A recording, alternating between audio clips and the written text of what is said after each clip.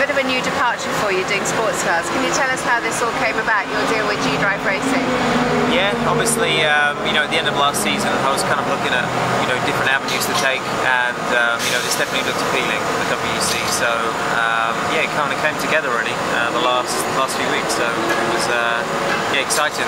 Kind of had to keep it quiet, and um, I knew I was going to be testing here, so it's, um, yeah, exciting time to me. It's um, something new challenge, and, you know, obviously get to races I've never done before. So Le Mans, 24 hour, that's always been one that um, I've always wanted to do. So, uh, you know, you always watch that one on TV as a kid, and uh, you know, now being actually involved in it and being able to race it will be uh, pretty fun. So, looking forward to all the challenges ahead.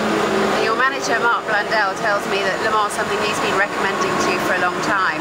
Yeah. Um, how much do you know about the, the world that you're about to enter, about LMP2 racing?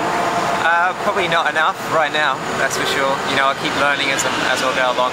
Uh, you know, there's a lot to take in. But Mark, yeah, he had pole around there, so no pressure. You know, he expects the same from me. So, uh, but I'm looking forward to that. You know, it's. I think it'll be something similar to like Indy 500, where it's. You know, it's not just you know a race weekend. It's you know week after week of preparation and qualifying and all that stuff. So, and you know that was a fun event. So, you know, I'm expecting the same for Le Mans. So, uh, looking forward to that. And are you going to be able to dovetail any races in America in with this program? Well, at the moment I'm still doing the Long Beach Grand Prix with uh, with IndyCar, so um, but that's just the only one right now. So um, would like to do more, but obviously main focus for me this year is going to be the WEC and you know making sure uh, we do well and um, you know kind of make a path for myself here hopefully.